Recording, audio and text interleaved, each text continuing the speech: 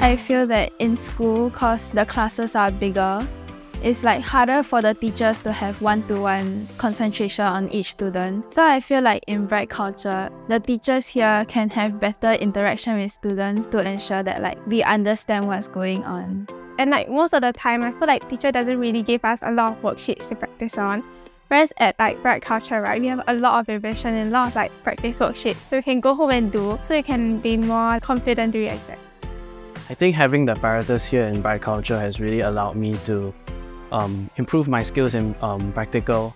Unlike in school, the teachers also have to rush through the practical and we don't really have much time to um, sit down and think about it. Here in Bright Culture, I was able to slowly think about what I wanted to do during the practical and I was able to have a more meaningful practical session because I was able to do the practical properly. We are also promoting reflective learning here at Bright Culture for A-level students. Instead of rushing through the syllabus, I think we should take a step back and actually think about what we are learning so that we can fully understand the concept here and apply it to our exam questions as well as to different real-life situations with regards to chemistry. I feel that Bright Culture is a fun and engaging place to learn chemistry with especially with Miss Bernice, which is my chemistry tutor. She's a very fun and enthusiastic teacher, and she always uses a very nice and warm tone and make chemistry lessons very enthusiastic for me. So I always anticipate to come to Bright Culture for chemistry lessons.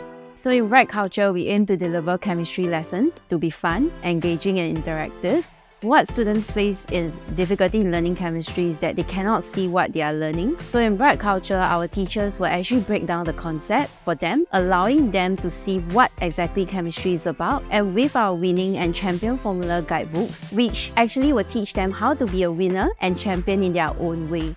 Other than academic, we also hope to take care of the emotional aspects of our students. I think it's important for our teachers to also listen to what our children want to say so in Bright Culture, just something very simple. We hope that our learners will be happy because when you are happy, you can achieve what you want to be.